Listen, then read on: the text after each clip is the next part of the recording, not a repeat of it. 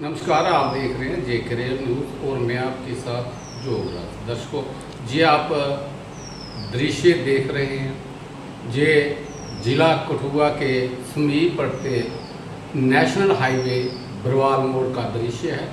हम आपकी जानकारी के लिए बता दूँ कि बरवाल मोड़ पुली पे नेशनल हाईवे अथॉरिटी द्वारा काम लगाया था और आठ नौ महीने लगभग इस काम को सर अंजाम दिया, जो भी इसके कंट्रैक्टर थे।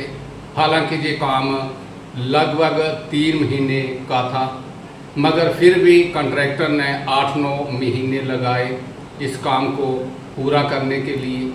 और ये काम 28 जून को जो है वो ख़त्म हुआ, यानी कि नेशनल हाईवे अथॉरिटी जो है जे रोड 28 जून को स्टार्ट हो गया अमरनाथ, श्री अमरनाथ यात्रा जब शुरू हुई। उससे पहले जे एक दो दिन जे कंप्लीट हो गया और 28 जून तक जो है गाड़ियाँ इसके ऊपर चलना शुरू हो गई। और आप देख सकते हैं कि किस तरह से आज लगभग नौ या दस दिन हुए हैं इस पुली को बने हुए। और आज फिर जहाँ ब्लैक टॉपिंग होनी थी वहाँ पर ये कंक्रीट डाल रहे हैं।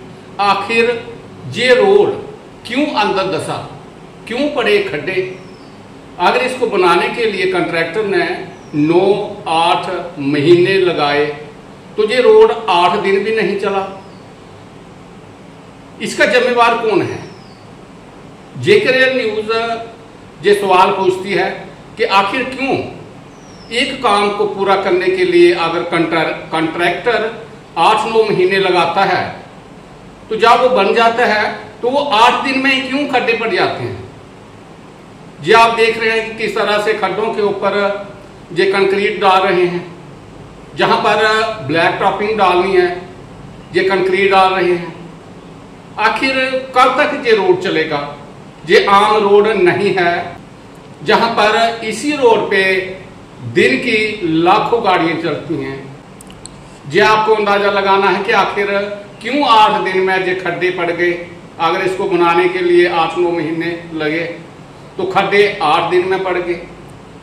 आखिर क्या देख रहा था आठ नौ महीने कंट्रैक्टर अगर जहाँ पे ज़मीन दस गई है, बह गई है तो नौ महीने क्यों लगाए इसने? क्यों नहीं देखा इसको?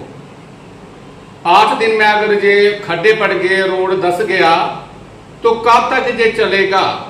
ये सवाल रहेगा जे के रेल न्यूज़ का तो जे के रेल न्यूज़ जो है ये बार बार जिला प्रशासन से और नेशनल हाईवे अथॉरिटी से अपील करेगी कि इस पुली को देखा जाए और इसकी तरफ़ संज्ञान लिया जाए, क्योंकि आठ दिन हुए हैं इसको बने हुए ये रोड स्टार्ट गाड़ियाँ चल रही हैं और आठ दिन में ये खड्डे पड़ गए, और जहाँ ब्लैक टॉपिंग होनी थी ये कंक्रीट डाल रहे हैं, आखिर कब तक ये चलेगा? National highway authority road. धन्यवाद।